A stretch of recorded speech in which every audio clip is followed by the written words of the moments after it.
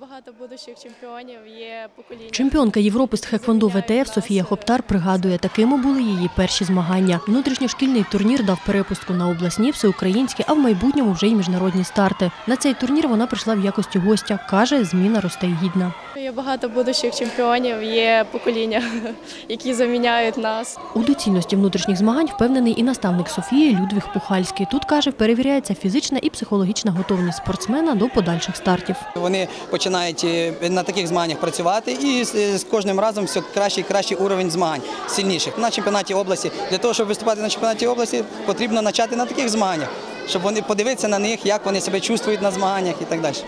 На думку батьків, кожні змагання це новий досвід. Вони вчаться приймати рішення, е, будучи на Даяні, е, там немає ні мама, е, ні тато, і тому вони можуть надіятися е, тільки на себе. Це важливо в їхньому розвитку як е, особистості, як спортсмена і взагалі людини. Участь у турнірі взяли діти 2005-2010 років народження. Загалом було 70 спортсменів. Кожен із них провів до трьох сутичок. Це дітки, які там протренувалися місяць, три, і, і бачу в них велике майбутнє. Тобто це на наше майбутнє, і ми хочемо, щоб вони займалися і розвивали наш вид спорту в майбутньому. Цього року на вихованців юності ще чекає всеукраїнський турнір з тхеквондо ВТФ у Харкові. Він запланований на 17 грудня.